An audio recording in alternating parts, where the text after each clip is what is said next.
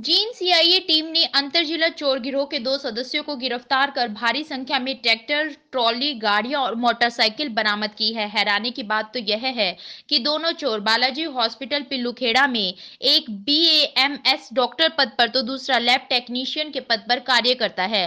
पिछले कई महीनों से इन चोर गिरोह के सदस्यों ने किसानों की नाक में दम कर रखा था और रोज़ाना ट्रैक्टर ट्रालियाँ चोरी होने की शिकायतों से पुलिस भी काफ़ी परेशान थी। पुलिस ने इन दोनों चोरों से आठ ट्रैक्टर दस ट्राली, चार गाड़ियाँ और सत्रह मोटरसाइकिल बरामद की है, जिनकी बाज़ार में कीमत एक करोड़ से ज़्यादा की है। हॉस्पिटल में मरीजों का इलाज कर दर्द कम करने वाले यह 200 किसानों को इतने बड़े जख्म दे रहे थे कि किसान अपनी किस्मत पर रोने लगे थे।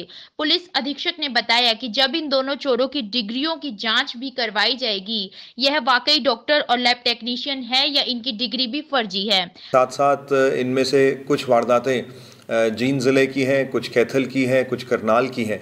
और इनमें वो वारदातें भी शामिल हैं जिनमें इन्होंने किसानों से उनकी जीरी को या तो चुराया है, या जीरी को ट्रैक्टर ट्रॉली समेत लूटा है।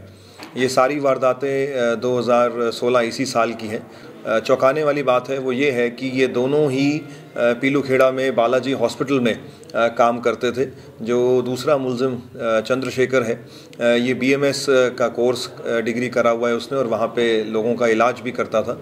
और इसके साथ हरीश वो वहाँ उसी हॉस्पिटल में लैब टेक्नीशियन के तौर पे लगे हुए थे। आज़ाद टीवी न्यूज़ के लिए जीन से ऋषि मेहंदी रता की रिपोर्ट।